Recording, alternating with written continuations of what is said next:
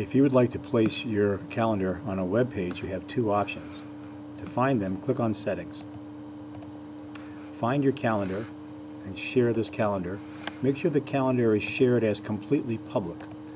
Under Calendar Details, you will find HTML code that can be embedded in your web editor, something like iWeb, or you can click on HTML and find the URL that you can use as a link to your web page on your web editor.